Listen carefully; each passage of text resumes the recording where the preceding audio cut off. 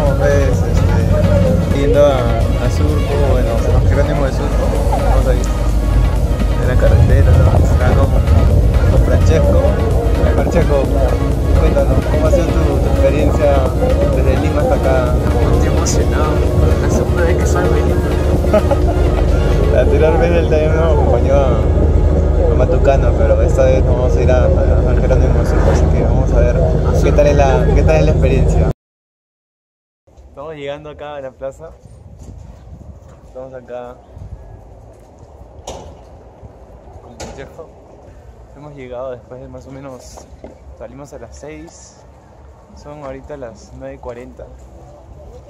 Más o menos un transcurso de 3 horas y media por ahí.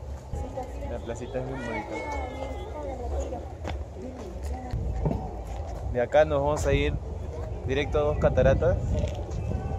Y nada, vamos a seguir con el, pequeño viaje que hemos hecho acá, full day. Está la, carretera central, pero no se logra ver bien. Directo para allá, para Matucana. Pequeño puestito de información turística es donde vamos a acercarnos para pagar los tres soles para las cataratas. Es un pago único y todos los que tengan, van a venir acá tienen que pagar para hacer este la, la ruta. Y les van a dar estos folletitos. Folleto y el y el derecho su boletito. Y nada de acá partimos. Pues, en una intersección siempre es bueno buscarla siempre hay una. La vista simplemente es espectacular. No hay palabra pa- no hay palabras para describir.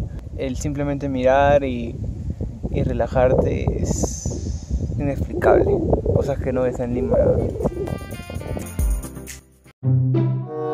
Amiguitos, por eso cuando hagan este tipo de cosas, compren buenas zapatillas, no compren esta huevada. Eres el primero que recomienda que traigan buenas zapatillas, ya está cagado. Ahí se va bien cagado el hombre. Caminando cagado con su GoPro.